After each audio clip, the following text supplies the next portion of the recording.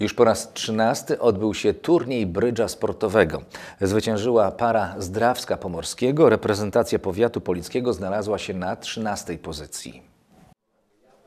Polickie impy odbyły się 2 kwietnia w Miejskim Ośrodku Kultury. Pomysłodawcą turnieju brydża sportowego był Zbigniew Nowak.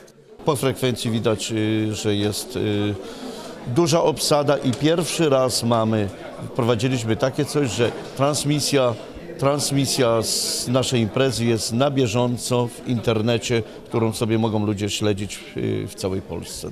W turnieju wzięło udział 82 zawodników z całego zachodniopomorskiego i północno-zachodniej Polski. Większość stanowili mężczyźni, ale nie brakowało kobiet. Nauczyłam się grać w brydże od rodziców, u mnie wszyscy grają w brydże. E, Rodzice, brat, dziadkowie, ciocie, wujkowie. I zdecydowanie brydż przynosi dużo przyjemności. Gram od lat chyba, no jak od 65 to już lat chyba blisko 50. No na siebie przecież sportowego brydża gram trochę mniej.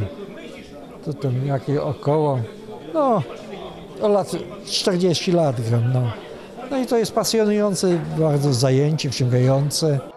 Pierwsze miejsce w polickich impach zdobyli Zbigniew Lasocki i Jacek Bałuk z klubu po Jezierze Drawsko-Pomorskim. Drugą lokatę zdobyli Janusz Wierucki i Jan Chmielewski z klubu KB Kontra Koszalin. Na trzecim miejscu znaleźli się Julian Pisarek i Marek Siech z klubu ZZBS Klub Pikwika Szczecin. Najlepsi zawodnicy powiatu polickiego Eugeniusz Karczyński i Leszek Piechocki z klubu ZZBS Omega Police zajęli 13 miejsce.